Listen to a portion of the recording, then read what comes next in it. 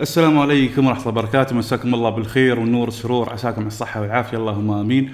وياكم أخوكم سعيد جلفار. موضوع اليوم مثل ما تشوفون هو السعادة.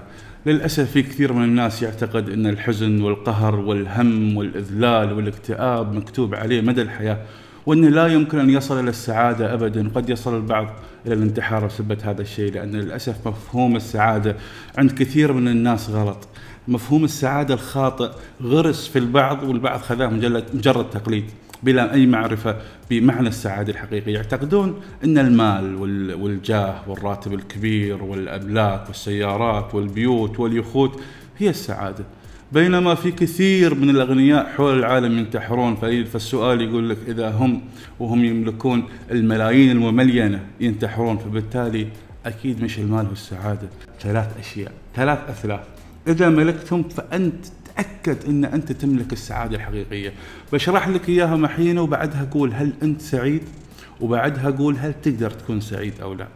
رقم واحد عندك القناعة. لازم تقتنع بوضعك أيا كان. لازم تقتنع بأن أنت أفضل عن كثيرين غيرك. لا شوف اللي فوقك لأن ما في شخص ما في حد أفضل عنه وما في شخص ما في حد أسوأ عنه. دائما انظر للي أسوأ عنك وقول الحمد لله. بتقول لي أنا أقتنع بشو؟ بقول لك تقتنع بشو؟ فرضا واحد يقول لي والله أنا راتبي 10000 ما يكفي. حلو. أنا بجيب لك واحد راتبه 3000 وواحد راتبه 2000 مش مشكلة. بجيب لك واحد ما يداوم بجيب لك واحد يدور وظيفة. مش مشكلة. بجيب لك واحد يدور وظيفة ومو محصل وظيفة ومديون. مش مشكلة. بجيب لك واحد يدور وظيفة ومش محصل وظيفة ومديون وفوق هذا مسجون وسبب دينه فبالتالي أنت أفضل عن كثيرين غيرك.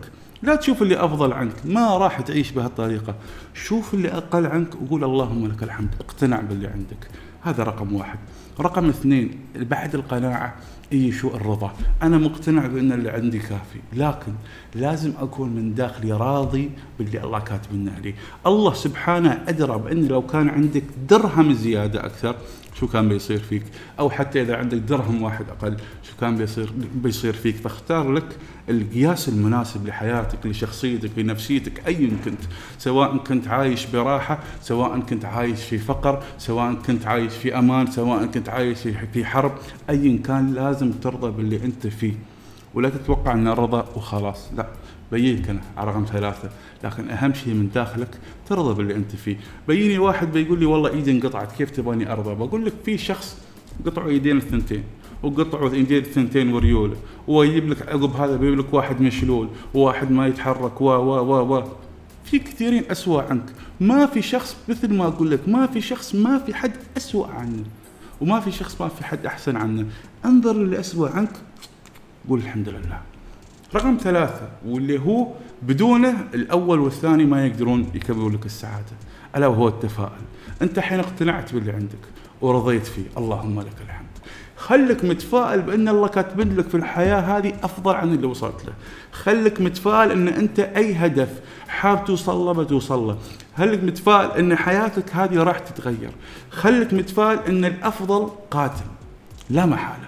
خل عندك ثقة بالله سبحانه وتعالى ومتفائل بأن الله كاتب لك الخير وراح توصل وراح تحصله. فإذا أنت عندك هالثلاث القناعة الرضا التفاؤل فأنت سعيد. أنا آسف على الإطالة وعلى تكرار كلمة سعيد. بتمنى لكم السعادة جميعا وياكم أخوكم سعيد جلفار. تحياتي لكم أمسية طيبة. السلام عليكم.